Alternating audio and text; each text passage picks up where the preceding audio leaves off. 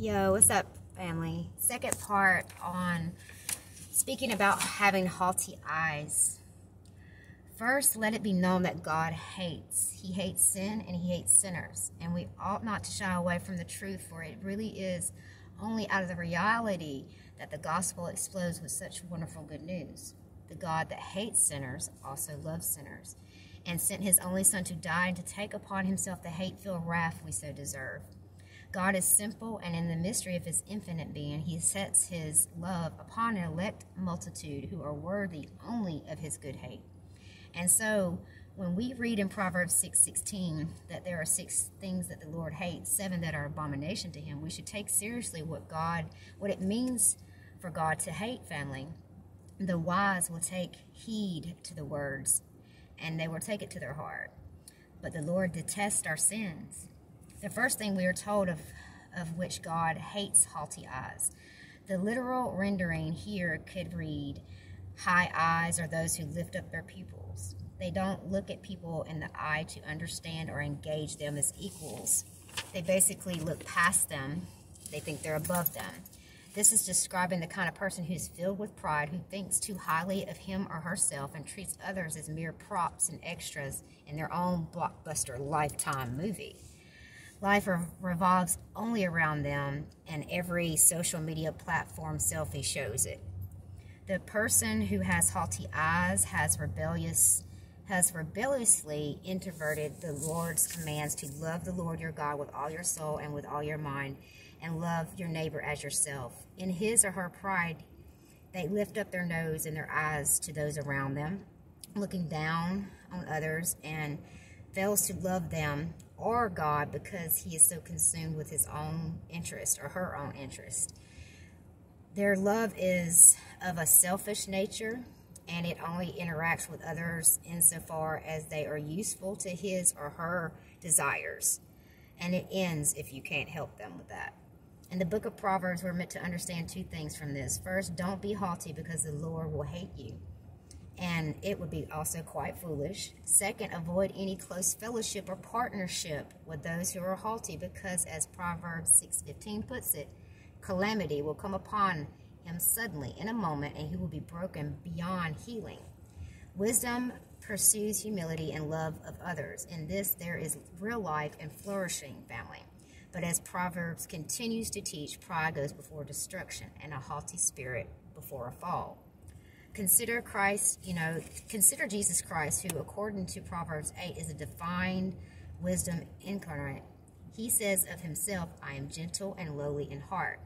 Matthew 11 29. The heart of Christ is not lifted high.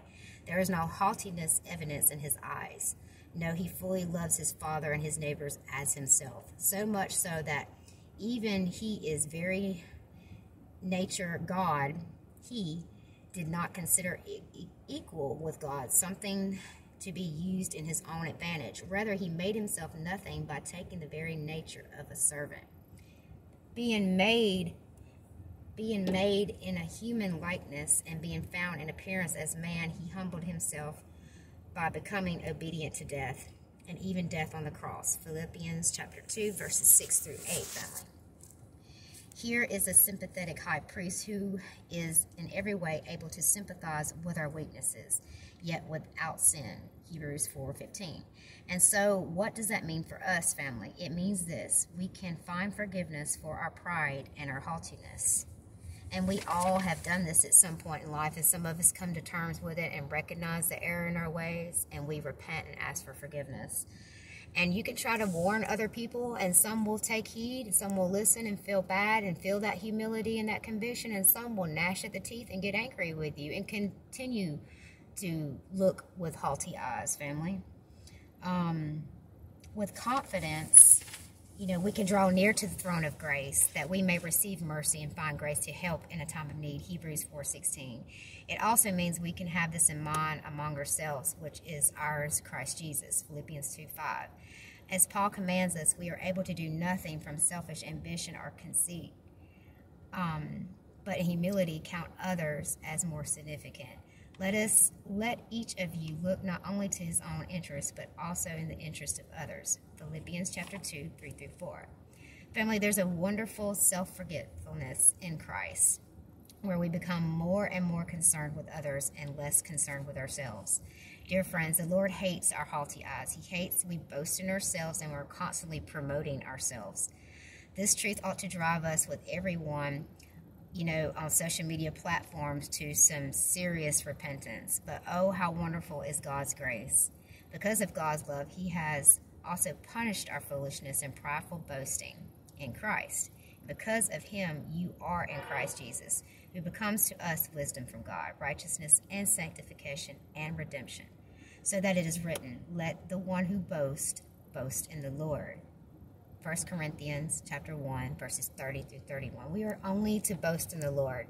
You're not to boast in yourself, your career, how you look, the color of your hair, whether you got a big butt or not. You, you, you know, you don't boast in the money you make. You don't boast in all the friends and the you are only to boast in the Most High. That's it. Proverbs chapter 8, verses 30. Pride and arrogance in the way of evil and perverted speech I hate. Psalms 5 5. The boastful shall not stand before the eyes. You hate all evildoers.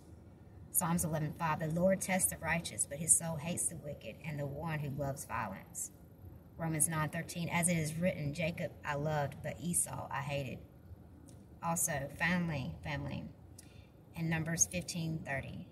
The term haughty is used to describe willful, defiant, high-handed sin. But we know that we can be forgiven for this, and we know that we can turn from this once someone has brought this to our attention. But you will never get anywhere with God having haughty eyes and looking down on others and being full of self pride, self promotion, and trying to make excuses for it. You know, like, oh, I grew up this way. You know, this I've always been this way. No, that's not going to cut it when you stand before the throne someday and you stand before the Lord. You know, He's going to ask people about having haughty eyes. So don't let that be you, family. Love you guys. Later.